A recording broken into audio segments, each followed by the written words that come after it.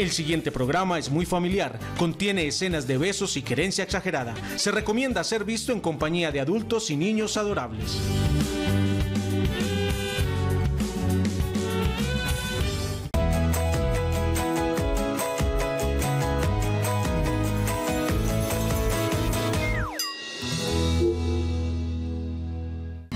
Nos unimos en un arrullo para abrir juntos un camino. Yo te ayudo a entre dudas, llanto y caídas, entre risas, besos y abrazos, juntos nos gozamos la vida paso a paso, construyendo desde el amor, paso a paso, para hacernos la vida mejor. Paso a paso, Perdón, pues es que vengo de una guardería.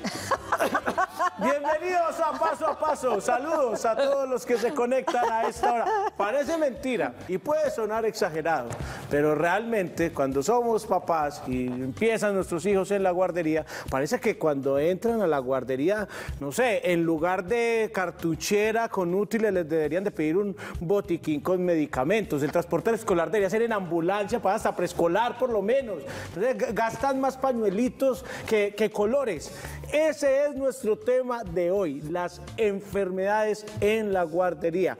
¿Les ha pasado? ¿Les pasó? ¿Lo están viviendo? ¿Creen que lo van a vivir? Pues atentos a este paso a paso de hoy y bienvenidos a todos los que se conectan para tejer hogares con nosotros. No está todas las anteriores. Eh, y todas las anteriores. Faltó esa opción. Buenas, buenas tardes a todos. Gracias por conectarse. Aquí estamos nuevamente cumpliendo esta cita en la que inevitablemente pues llegan temas como estos dolores de cabeza, esos que tienen que ver con la guardería, que de dolores de cabeza se transforman en mocos, en eh, diarreas, en vómitos, en salpullidos y en cuanta vaina dan en las guarderías. Entonces, pues aquí estamos para ponerle la cara, para eh, enfrentar este tema y eh, abordarlo como nos gusta a nosotros, con los expertos, para saber que eso es normal, por qué ocurre, si hay manera de evitarlo, cómo manejarlo, qué hacer, cómo tratarlo. Eh, si finalmente eso es tan bueno como dicen, déjelo que agarre defensas y ahí se va curtiendo, porque uno como mamá y como papá, pues obviamente sufre mucho al ver a los niños en ese estado y se vuelve un caos casi que familiar cuando hay niños chiquitos, más chiquitos en la casa que el que está en la guardería. Entonces el virus empieza a rotar y cuando empieza en el niño y termina en el papá y el papá ya está saliendo de ese, entonces vuelve a empezar el niño y eso así es como cíclico. Eso no hay casa, nunca están aliviados en la casa. Yo propongo que le cambien los nombres a las guarderías. Por una cosa más real, yo no sé, eh, moquitos felices, pequeñas tosecitas, gastroenteritis de colores, no sé, algo más acorde a lo que realmente vivimos como papás. Porque es que es así. Si no, díganlo ustedes, en el 268-6033 nos pueden contar todas sus inquietudes, sus experiencias, si lo están viviendo, si tienen alguna eh, pregunta en particular, pues tendremos un experto expertísimo en el tema. Que patentemos esos nombres ya. Ya, y montamos tres guarderías. Y nos cuenta y aprendemos todo de este tema hoy en Paso a Paso. Pues eh, de nuevo entonces muchas gracias por acompañarnos y como siempre para retribuirles esas gracias tratamos de tenerles aquí como premios, eh, ofrecimientos, espacios en los que ustedes puedan participar y ampliar sus conocimientos mucho más allá de paso a paso, que es un tiempo corto, aunque es todos los días, son temas distintos, tratamos de informar pero para que les pique el bichito y ustedes se informen más en lo que les interesa, en lo que les funcione. Recuerden que cada familia es un mundo diferente y eh, esta vez tenemos taller de crianza consciente. Así es, Moni, taller de crianza consciente por eh, Luz Petro, que estuvo con nosotros acá, arroba eh, mamá con el alma. Eh, eh, perdón, con alma de mamá, arroba con alma de mamá. Y este taller será, como lo ven en la imagen, el martes 18 de septiembre y el sábado 29, septiembre 18, eh, septiembre 29 a las 9 de la mañana. Para esto vamos a entregar tres cupos. ¿De qué manera? Vamos a entregar uno para el martes 18 de septiembre y vamos a entregar dos para ese sábado 29 de septiembre. ¿Cómo lo vamos a hacer? Tienen que escribir en nuestra red Instagram, arroba paso a paso, así como lo dice el nombre del taller, Mamás Poniéndole el Alma. Cuéntenos en qué situación especial ustedes han tenido que poner el alma como mamás, como papás, en qué situaciones lo han dado todo por sus hijos para salvar determinada situación con ellos. Pues obviamente la respuesta sería siempre, pero ¿Sí? lo que queremos es ir un poco más allá. Hay situaciones extremas, no sé, estuvo hospitalizado y mejor dicho nos tocó ponerle el alma más allá de lo habitual. Esas situaciones que realmente a veces terminan por desbordarnos, eh, sacarnos el alma y lo que queda entonces es como el diablo de mamá, que no queremos que nunca salga, eh, para que entre ustedes, quienes participen y comenten, hagamos el sorteo la próxima semana. pues, Hasta el viernes. Hasta lo, el vamos A hacer, lo vamos a hacer. eh, hasta el viernes 14 habría plazo porque esto es el martes, Martes, 18. martes. Entonces tenemos el lunes ahí como para verificar asistencias. Perfecto. Entonces, hasta el viernes tienen plazo para eh, participar a través de arroba paso a paso TV en Instagram. Dicho esto, retomamos nuestro tema, que es el de las enfermedades más frecuentes en las guarderías y que tiene que ver definitivamente con, de nuevo, ponerle el alma, porque hay circunstancias especiales en las que los papás sufrimos un montón, quisiéramos que fuéramos nosotros, pero no es así. Nos conectamos desde el corazón y ya regresamos. La maternidad, la paternidad también duele. Y pero duele por cuando se fortuna enferman. sana. Y Eso duele- sí, cuando se enferman. Cuando se enferma, es que, y sobre todo cuando entra a la guardería, esa época es de muchas satisfacciones, pero de muchos dolores, no solo para los niños, sino para los padres. Ese es nuestro tema de hoy, pues para abordarlo como nos gusta, aquí está nuestro experto en paso a paso.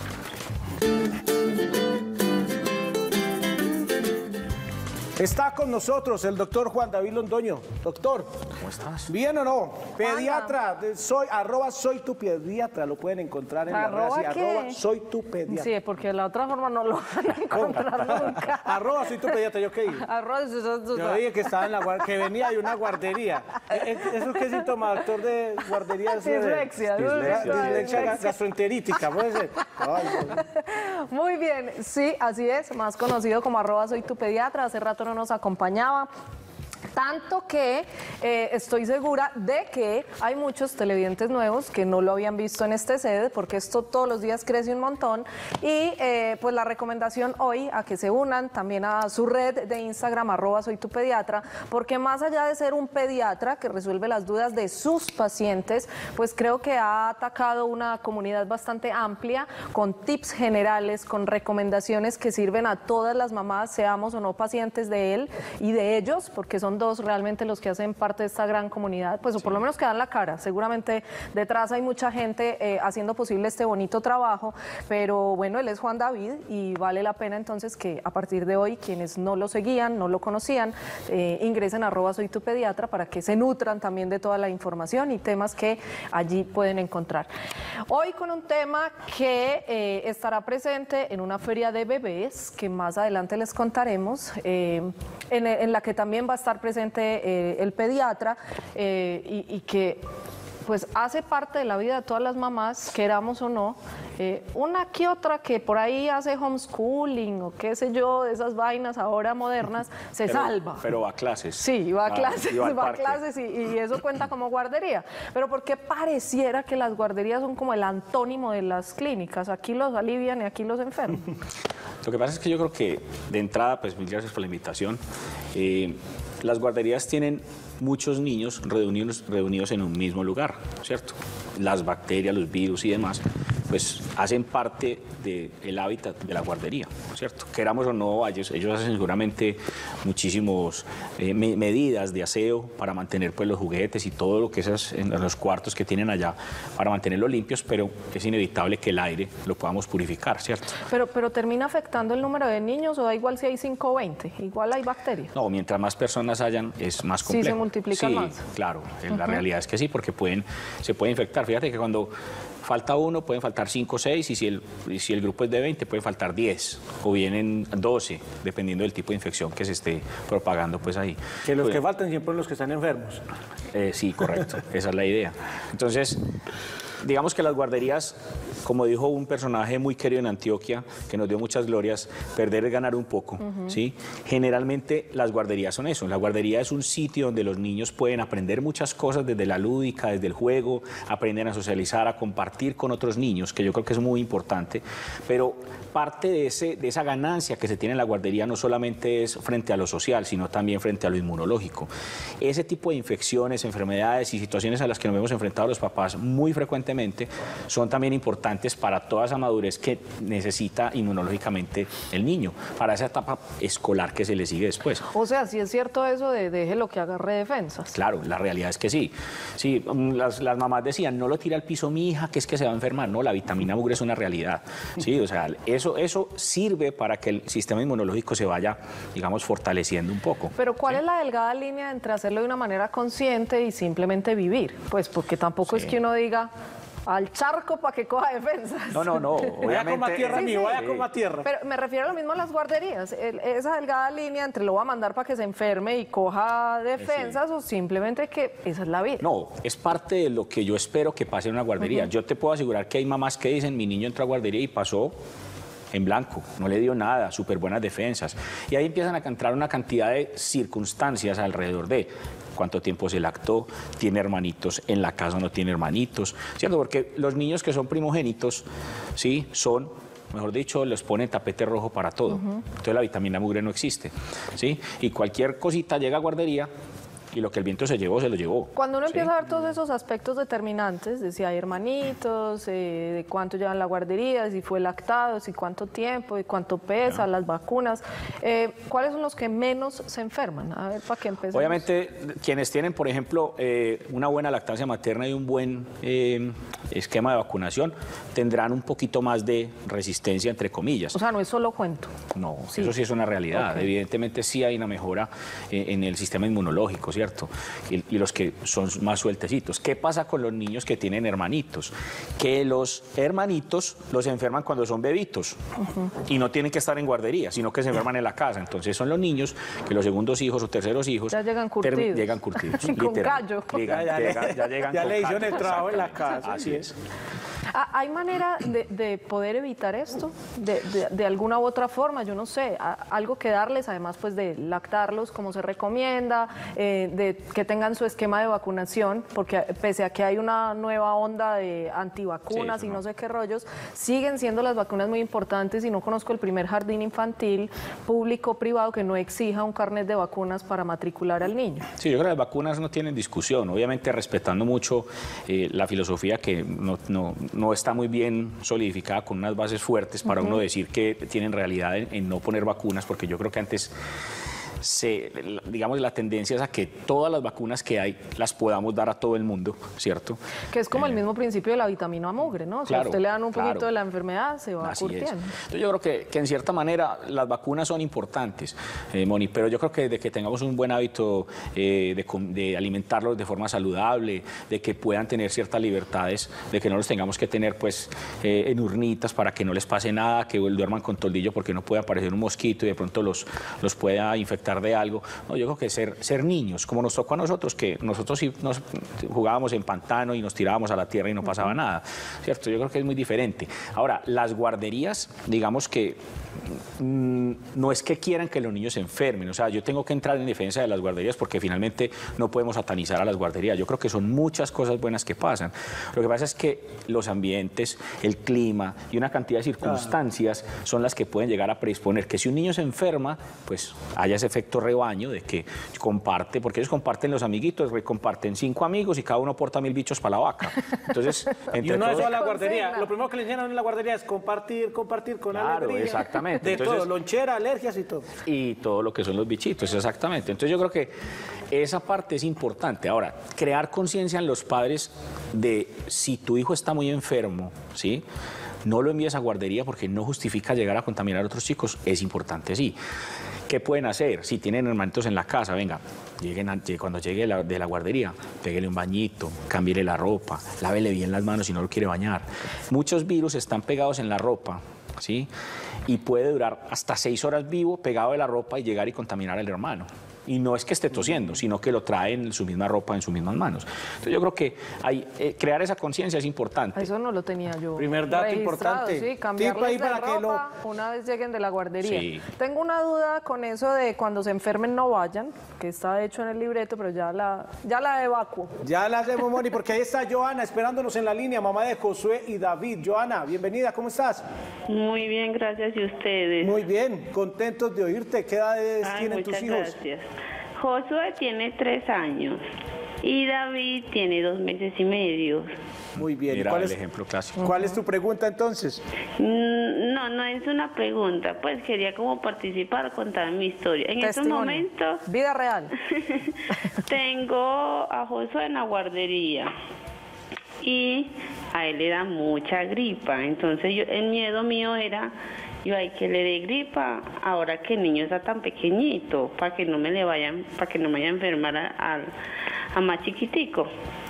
Preciso ese miedo, vino Josué con gripa, enfermó a papá, enfermó a mamá. Y por tanto, por mucho que uno se cuide con tapaboca, que se lave la mano, que esté pues siempre como re- retiradito del niño, se enfermó. Pues eh, con no no no tiene moco, pero tiene tosecita. Y entonces yo tengo mucha tos y no sé qué tomar, aunque le doy, le doy lactancia, entonces no sé qué tomar o cómo quitarme yo la tos como para que el bebé no siga con esa tosecita. Joana, muchísimas gracias. ¿También le toca tomar leche materna de la de ella o, o qué hacemos? No, la leche materna evidentemente no se puede dejar de dar. Yo creo que el caso de, de Joana es el caso de muchas mamás y, y lo hablábamos ahorita. Los, los que son segundos les toca padecer situaciones un poquito complejas antes de llegar a una etapa de guardería porque definitivamente se van a enfermar. Decirle al hermanito que primero está con los celos alborotados porque ya no le toman el mismo tiempo que le tomaban antes. Eh, aparte de que en el fondo quiere mucho a su hermano y quiere llegar a demostrar ese cariño para también tener aceptación de los padres. Entonces el niño llega con, el, con la tos, con el moco, con todo, dale picos. ¿Cómo le vamos a decir que no lo haga? Entonces fíjate que es una dualidad muy grande que tienen los padres. Entonces yo creo que más allá de, de- de nosotros decir que, sin, que se va a evitar de alguna forma, que tú ya puedes parar, por ejemplo, Joana, la tos, no lo vas a parar. Si tu hijo ya empezó con la gripa, la gripa va a seguir porque los virus se quitan solos. Entonces ya lo que toca es estar pendientes de signos de alarma en caso de, de una gripa en un bebé de dos Manejar los meses. síntomas. Exactamente. Ujú.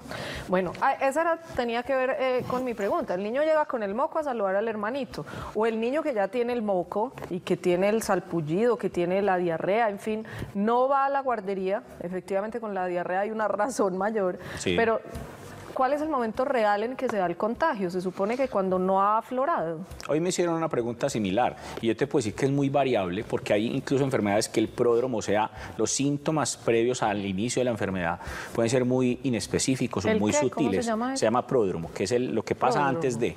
¿sí? Podromo, donde, De- corren, donde corren las bacterias. ¿no? Pero decía, debería ser Es- el prédromo. Más o menos, exacto. Sí. El problema es como lo que me, me anuncia a mí que algo está pasando. ¿ok? Ok. Entonces, esos síntomas como inespecíficos que se pueden llegar a manifestar, nadie se imagina que el niño está enfermo, ¿cierto? Ya después empieza con la tos, con el, moco, con la fiebre y demás. Y yo creo que ya ahí es, es un punto de contagio importante. Sobre todo los- las primeras 72 horas es el- quizás en el punto donde más vamos a encontrar nosotros riesgo de, infección. Cuando hay una diarrea, pues ni qué hablar, o sea, es- eso es mientras que el niño tenga diarrea, tenemos que estarlo limpiando, tenemos que estar haciéndole demás, y en las manos nuestras es que podemos transmitir todo ese tipo de bacterias. O sea que cuál es realmente eh, como la delgada línea, vuelvo y hago la pregunta, para no enviarlos al, al jardín Yo o a creo la que la fase guardería? inicial- Porque para uno es difícil dejarlos en la casa, pues Eso- es tenemos que trabajar, no podemos sí. cuidarlos, y entonces, bueno, Eso que tú estás mencionando lo, menciona- lo quería mencionar yo, porque es que la guardería muchas veces no es un artículo de lujo. ¿Sí? La guardería para muchas personas es una necesidad. Yo siempre he dicho que la guardería debería empezar a los dos años, porque es la etapa en la que el niño tiene un poco más de conciencia, ya yo le voy a explicar las cosas y las va a entender, va a aprender a vivir en comunidad de una forma sencilla, pero hay personas que entran a la guardería a los niños desde que tienen tres meses porque necesitan trabajar. Y no solamente medio tiempo, sino todo el día. Entonces, se tienen que contaminar. Y hay, y papás que puede tener diarrea, puede tener gripa, puede tener lo que sea, y allá mandan la droga, el antibiótico para que se lo den, la formulita, porque no tienen otra manera de hacerlo. Entonces, hay que entrar como en ese sopesar riesgo-beneficio. Si, si definitivamente es imposible que vaya al- a la guardería y le toca quedarse, pues tocó pedir una calamidad doméstica, pero ojalá no los mandaran en la fase aguda. Ok. Vamos, Moni, a la pausa con el dato y ya volvemos a hablar con el doctor sobre este tema de enfermedades en la guardería. El dato nos cuenta que el inicio de las enfermedades infantiles tiene un poderoso lugar de origen, los salones de clase. Son muchos los padres que después de que sus hijos pasan unas cuantas semanas en las guarderías o los jardines preescolares, tienen que correr al médico para que les atienda síntomas varios como tos, fiebre, diarrea. No ya, son los únicos, no son los únicos. ya volvemos. Estás viendo Paso a Paso.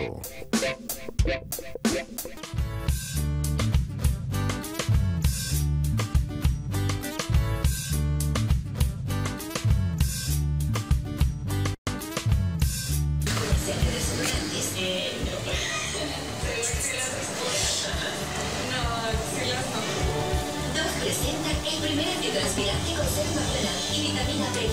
Gracias a su innovadora, reduce las manchas de las axilas en 7 días.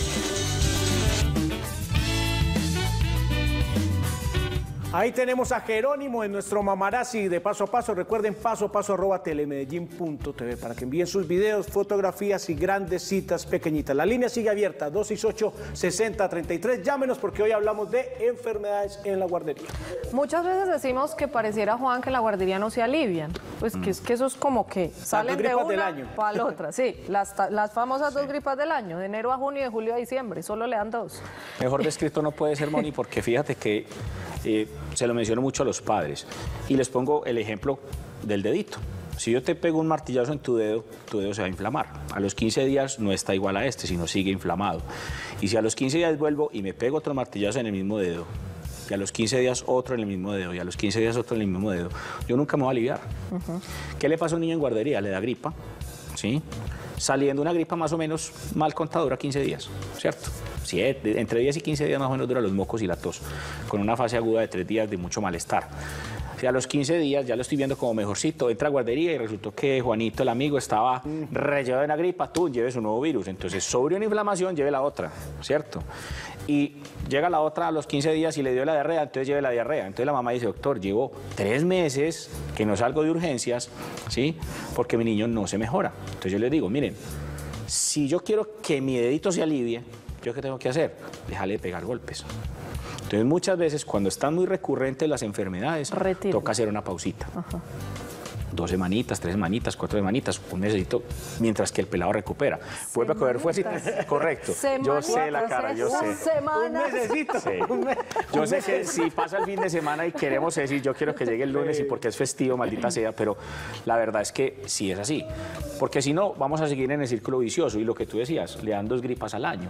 El moco no se va a quitar en seis meses. Por eso tienen mocosos.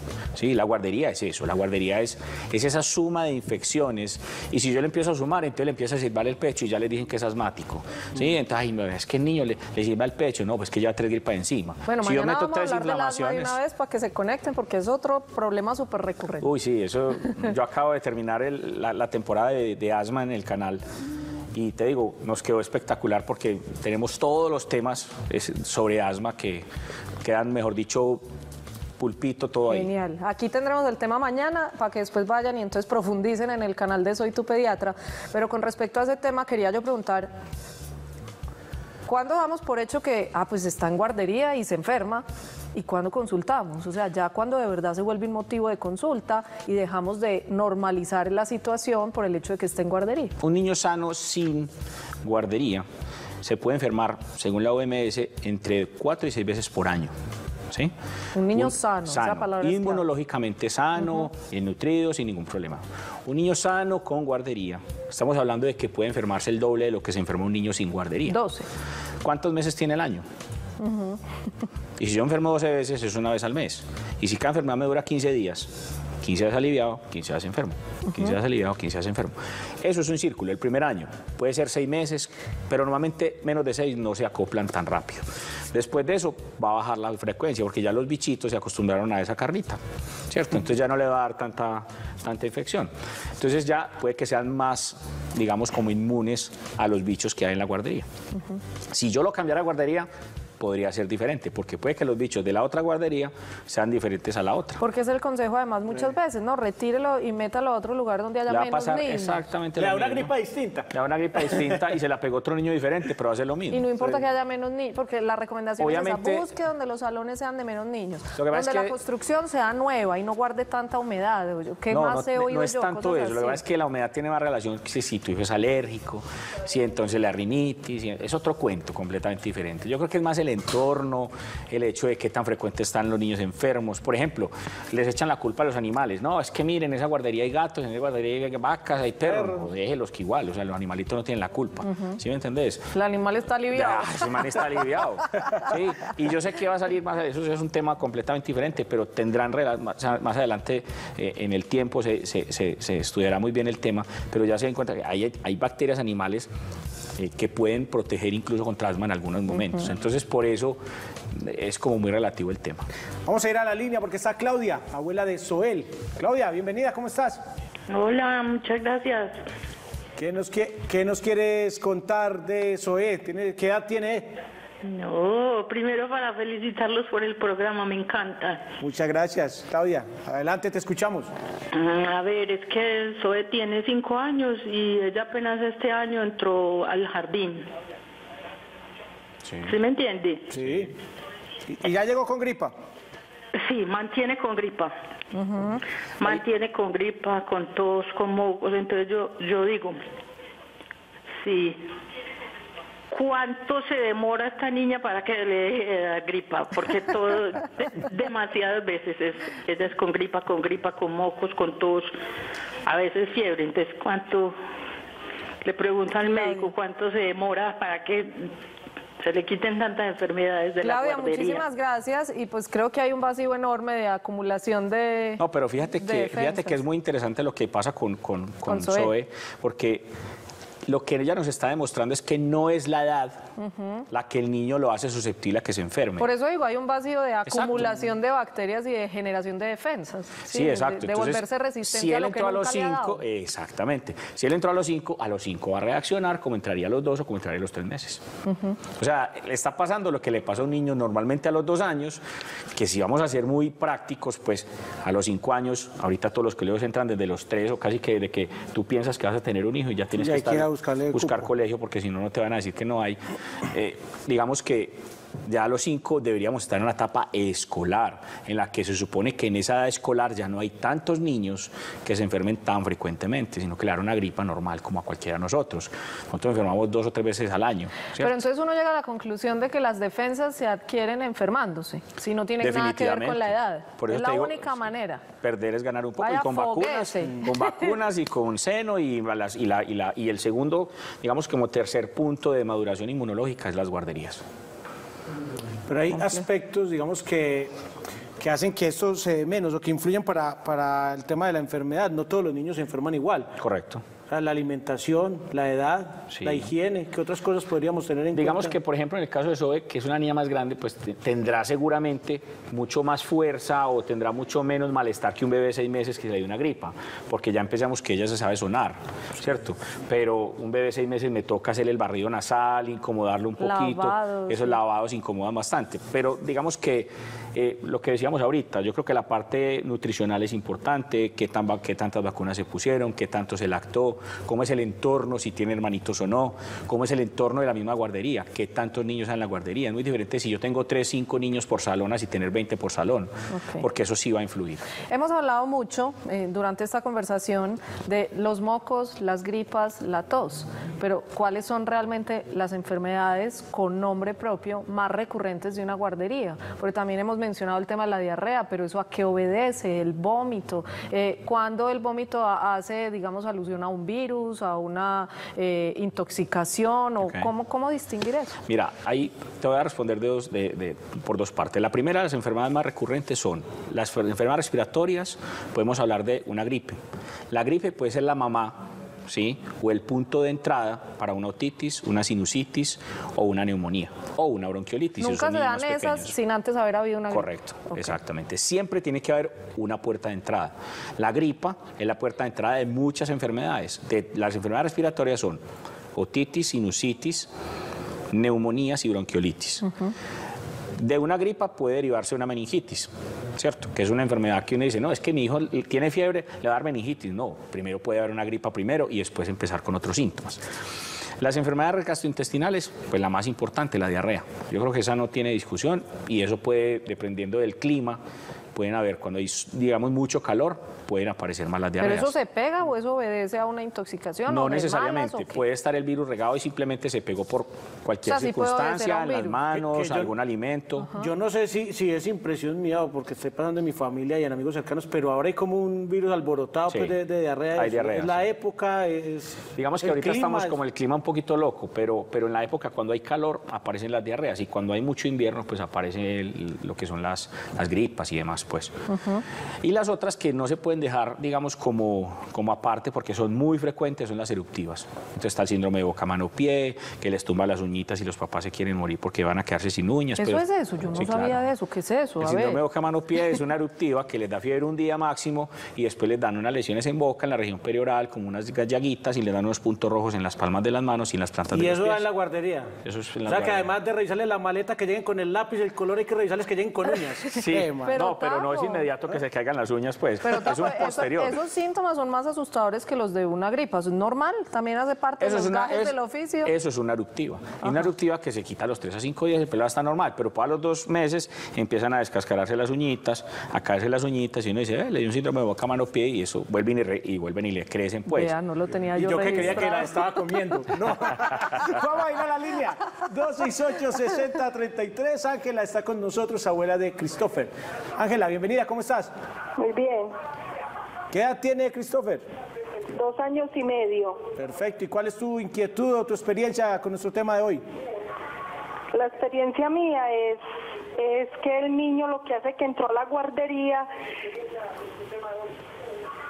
Bájale por favor el volumen al televisor, Ángela, que te está llegando por allá y te enredas para hablarnos.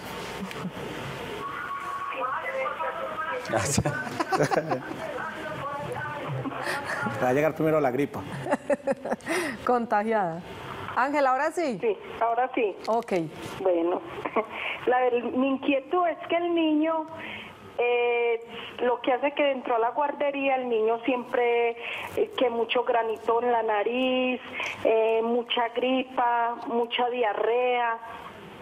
Pues si el niño está muy bien alimentado, claro que el niño es prematuro, pero él ya tiene pues dos años y medio, no sabemos cómo manejar eso, pues que pierde mucha clase el niño porque lo que hace que se entró a la guardería, el niño mucha gripa, mucho moquito, ayer tenía diarrea, esta madrugada le dio mucha fiebre.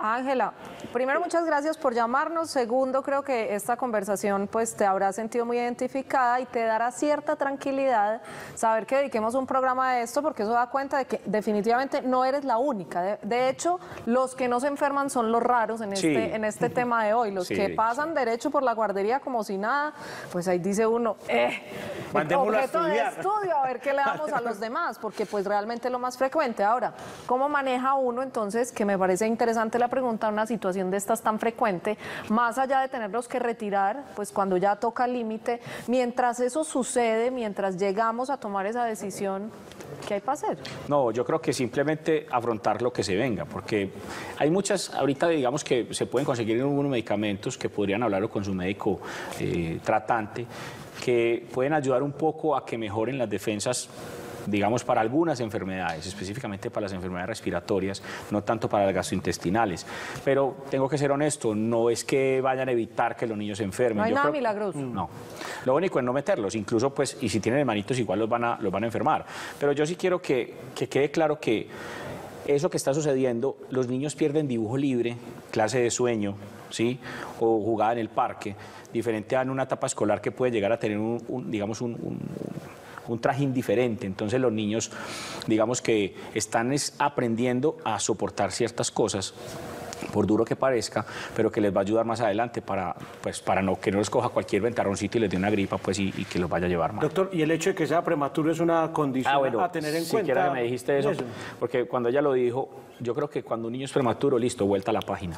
Fue prematuro, ya no es prematuro, ya es un niño que se supone que hizo el reatrapamiento con... Fue, con- esa fue, exactamente. Ah, perfecto. Fue, Se comporta pero eso no tiene como- nada que ver, Ah, o sea, pero nada que ver con eso. Maravillosa aclaración. Genial. Bueno, ahora el punto es que lo tocamos muy por encima.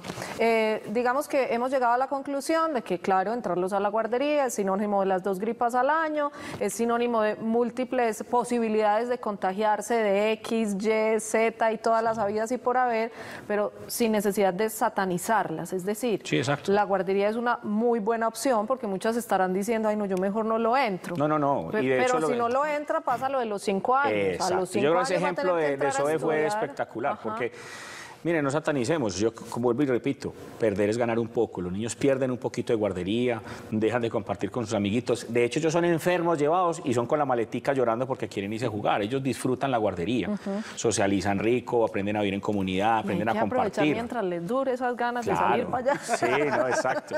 Entonces yo creo que, que entender que es parte del proceso evolutivo del ser humano, madurar ese sistema inmune, que bien nosotros ayudamos desde que están más pequeños con las vacunas, pero que es un proceso dentro de lo que esperamos nosotros normal para ellos.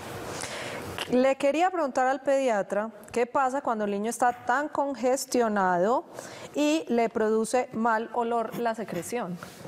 Ya hay que pensar que no tenga el seno paranasal eh, afectado o que las adenoides estén muy crecidas y que eso puede llegar a generar un poquito de halitosis. O- Otro de los síntomas a- que a uno lo alerta siempre, o por lo menos le han enseñado, es el color del moco. ¿Funciona o no funciona? No, pues funciona y sí, o en la no, guardería funciona dan para rojos, nosotros. amarillos, verdes, rosados. Lo que pasa es que La paleta de colores de moco, ¿cuál Es como, el- es como la pregunta que me hiciste ahorita de que, de que el vómito, porque me faltó responderte ese pedacito. Hay tres síntomas que son, eh, digamos, como iniciales en cualquier enfermedad. Fiebre, vómito, dolor de cabeza. Son los tres. Yo puedo tener vómito y simplemente tener una otitis. Yo puedo tener fiebre y tener una gastroenteritis. Yo puedo tener dolor de cabeza y resulta ser una gripa. ¿Sí? Son tres síntomas generales. El color del moco, al inicio de una simple gripa es verde. Y eso no quiere decir que tenga infección bacteriana. y siempre hemos creído lo contrario. Exacto. Moco verde Pero murió. si yo tengo dos semanas de gripa, que el moco pasó verde, se aclaró, y a las dos semanas es verde como el tapete de, de este set, definitivamente tiene una sinusitis o una infección posiblemente que sí amerite. Ah, no, si está como el tapete de este Se comió un Grinch. Se comió algo raro. Vamos a ir a Y la este pausa. es un llamado para Amaro a ver si algún día nos cambia el tapete, pues de una vez al aire. No que me ya cambió el color, ya cambió el color. Nos vamos a ir al corte, el doctor se va a quedar con nosotros porque como les dije, hará parte de esta feria que reúne al público paso a paso, concretamente a todas este grupo de mamás y de papás y de profesores que queremos aprender todos los días más sobre los niños. Así que aquí se nos queda, vienen otros expertos y ya les contamos de qué se trata, cuándo es y todo, para que se agenden. Nos vamos con La frase, Moni, en paso a paso. Frase que es la definición de nuestro programa, de las que llegan de los televidentes. Esta dice, paso a paso, es esa abuelita que muchos no hemos tenido y que nos da tips básicos para la crianza de los peques y una forma de entender que ser mamá no es sabérselas todas. Es una red en la que muchas mamás nos ayudamos. Nati Yepes, muchas gracias por tu definición de paso a paso. Ya volvemos. Estás viendo Paso a Paso.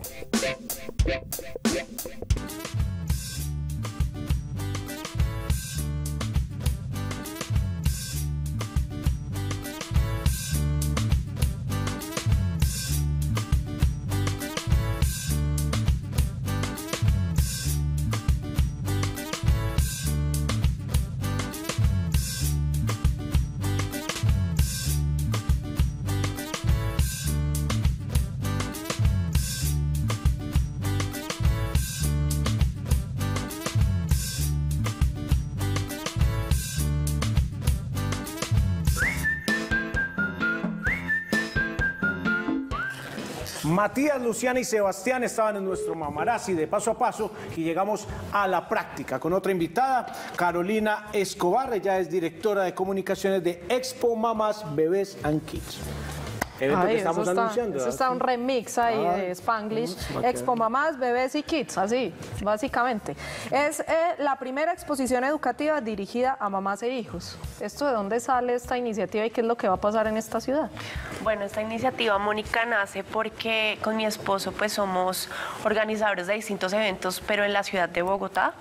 Eh, desarrollamos eventos relacionados con el ciclismo, con las mascotas y dado que nosotros tuvimos a nuestro hijo, ya Jerónimo va para dos años ahorita el 14 de septiembre, tuvimos muchas dudas como padres primerizos y yo le dije a él, ¿por qué no hacemos un evento, una exposición que sea para todos los padres, que encuentren una exposición comercial donde encuentren las marcas para poder encontrar lo que tú necesitas para tu bebé si estás embarazada y también que tengamos especialistas que te brinden información de primera mano para resolverte todas las dudas que siempre uno como mamá primeriza o como papá primerizo pues tiene. ¿Ya lo hicieron en Bogotá o por Sí. qué Medellín? ¿O les fue Esa muy bien allá y entonces lo trasladamos a Medellín o cómo Sí. es el asunto? Eh, hicimos primera y segunda edición en Bogotá. Eh, cua- con el éxito que tuvimos en Bogotá, muchas eh, ciudades nos han pedido traigan la feria, traigan la exposición y pues nuestro objetivo es volvernos en la exposición nacional más grande en temas de maternidad.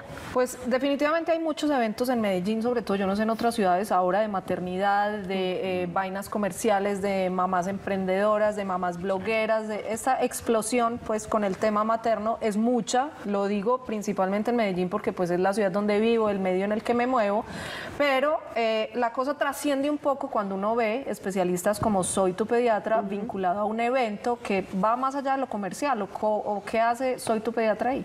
por Sí, ejemplo. la idea es que a mí me parece, tú conociste Mórula, que fue el evento que nosotros hicimos sobre crianza, y conocí Expo Mamás el año pasado. eh, ellos hicieron pues como una, un análisis de, de las personas que estaban trabajando precisamente con ese que tú estás diciendo. hicieron unos premios Expo Mamás y Bebés y nominaron varias personas. Entonces los conocí por eso. Estuvimos en Bogotá el año pasado, eh, que nos, nos, nos galardonaron allá con el premio del pediatra influenciador por todo lo que estamos haciendo pues a través de la página y me dijeron que venían para acá, para Medellín, y les dije que me interesaba mucho seguir replicando todo ese tema de, de crianza y de, de salud, porque la idea de nosotros es como enseñar muchos temas en salud para evitar la sobrepoblación de las urgencias actualmente. Entonces quisimos como hacer esa sinergia de lo que nosotros veníamos haciendo con ellos y pues estamos vinculados con varias charlas, incluso pues eh, en, en los tres días que vamos a ¿De estar qué allá. vas a hablar? De las Nosotros- enfermedades de la guardería, que es uno de los temas que quisimos hoy Sí. traerlo para antojarlos, pero ¿qué, qué más? Uno de los temas, yo voy a tratar específicamente, mi tema es eh, eh, manejo de la fiebre. Yo creo que el manejo de la fiebre es que ya Juan nos fundamental. acompañó con Sí. ese tema y está en YouTube también. Sí, es el manejo de la fiebre, yo creo que es muy ganador y creo que genera mucha controversia, entonces queremos es hacer un conversatorio con los padres como para calmar esas dudas que se pueden llegar a generar. Tenemos eh, del equipo está Diana Sanín que va a trabajar eh, de cómo hacer el banco de leche, Caro también va a trabajar eh, cómo solucionar las grietas eh, en las mamás que están lactando, que se les laceran los pezones y demás, entonces cómo llegar a mejorar toda esa parte, mejorar la técnica de lactancia.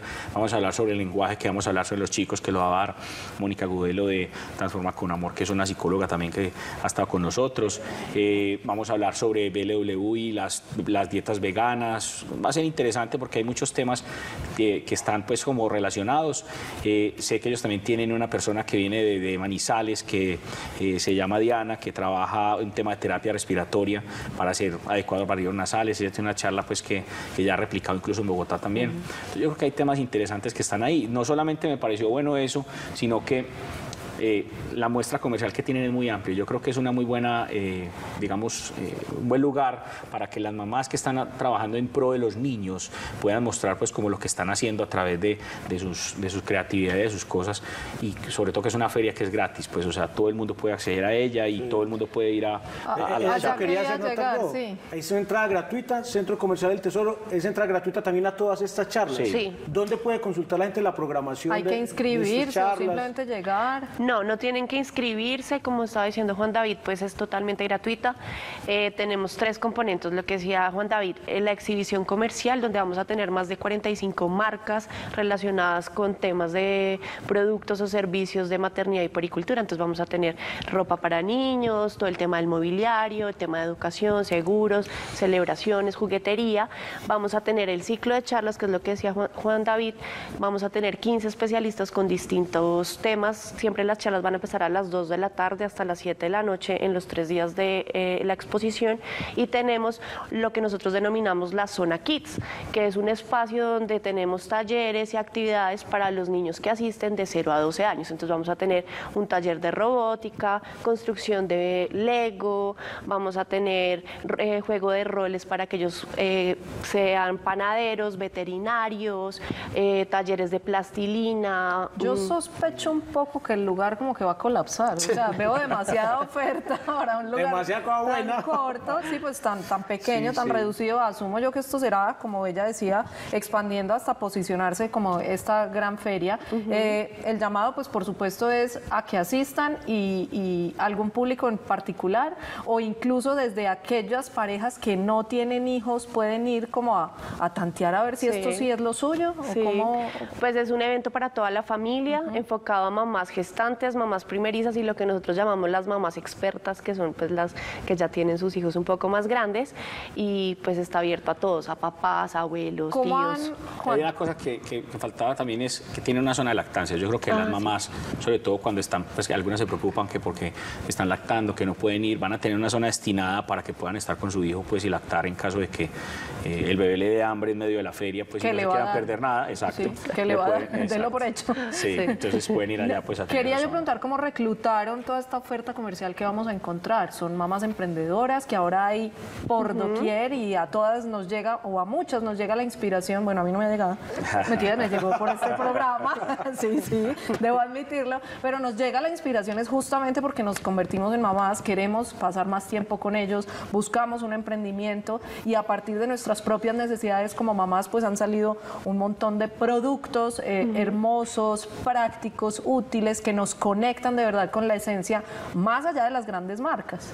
Sí, tenemos eh, entre las marcas participantes pues varias emprendedoras, muchas también que son mamás que están dedicadas pues a este tema relacionado con la maternidad y también pues vamos a tener eh, oferta de grandes marcas que también van a estar Pero eso ya participando. está todo seleccionado o están en convocatoria. No, ya, marcas, ya está, nada, no, ya fue, se cerró, fue. sí, claro. Hicieron ahí un proceso Se de seis meses trabajando interno. más o menos en todo el proceso. Ya es un ¿Y se de- hizo por convocatoria? ¿Cómo, ¿Cómo se descubren tantos emprendimientos? Porque hacemos una convocatoria en nuestras redes sociales, página web, ahí hacemos obviamente un filtro y pues ya cada eh, eh, expositor pues decide si quiere entrar o no entrar a la, a la exposición. Juan David hablaba ahora eh, de un grupo de profesionales que trabajan con él, que van a tener allí, digamos, su puesta en escena, por llamarlo de alguna manera. Mencionó también a alguien de Manizales que viene con el tema de los lavas nasales. ¿Qué, qué más hay aparte de Soy tu pediatra? Tenemos, eh, tenemos varios temas de disciplina positiva o la crianza de afecto. Tenemos una charla con eh, Tatiana Londoño, que es, un, pues es mamá, es influenciadora y tiene una mamá plataforma. con- no, esta Mamá es contigo. Mamá contigo. Mamá contigo. Tenemos a una doctora que es médica y que está especializada en todo el tema de disciplina positiva, que se llama la doctora Piedad Jaramillo, que su plataforma se llama Tu Doc Dice. Y vamos a tener también a otra doctora, que es la doctora Gloria Higuita, que también es de crianza afectiva, y ella va a estar hablando sobre el tema de lactancia y también crianza de afecto. O sea, tenemos tres. Ah, no, y tenemos uno súper importante que se me ha olvidado decirles, que tenemos también de aliado a la alcaldía de Me- de Medellín a través de la Fundación Tejiendo Hogares, que es la del despacho de la primera dama de del Sí. Muy bien. Y ellos, con ellos nos unimos porque ellos están en una campaña súper linda que es la de Escúchalo sobre la prevención de abuso sexual en los niños. Entonces vamos a tener esa charla el sábado sobre prevención de- en el abuso sexual en los niños y tenemos un taller, ese sí es un taller, no es charla, un taller el domingo sobre disciplina positiva. Recordemos los días. Días de las charlas, 14 ah, bueno, de la exposición, 14, 14, 15 y 16 de septiembre. El viernes abrimos puertas al público a las 2 de la tarde hasta las 7 de la noche. Charlas van de 2 a 7. Y el sábado y el domingo vamos desde las 10 de la mañana a las 7 de la noche. Las charlas inician siempre a las 2 de la tarde. Perfecto. Muchísimas gracias. tenía. Muchísimas gracias por acompañarnos. Todo súper completo. ¿Hay redes sociales de la Sí, feria? tenemos redes sociales, nos pueden encontrar en Facebook en- y en Instagram como arroba expo mamás y bebés y en nuestra... ¿Y normal o la I? ¿Cómo llamas ahí? No sé. No, la I normal, Y, Y. La Y. No, no, no. ¿Y latina No, no, o eso Y? tiene un nombre o- específico que o es ahí lo he es- consultado cien mil veces. Lo voy a Sí, a cierto. ¿cómo se llama no esa I? Bueno, no sé, pero igual es Y. Y normal, Sí. y mamás y bebés. Arroba soy tu pediatra, arroba eh, Expo Mamás y Bebés. bebés. Listo, quedó clarísimo, agendados todos, es gratis, una oportunidad inmensa para que sigamos abri- abriendo las puertas del conocimiento relacionadas con este tema que nos apasiona tanto de ser mamás, papás, educadores y todo aquello que tenga que ver con los niños. A ustedes de nuevo mil gracias y nos seguimos viendo. Chao, chao, aquí nos encontramos mañana a las 2 de la tarde. Chao, chao.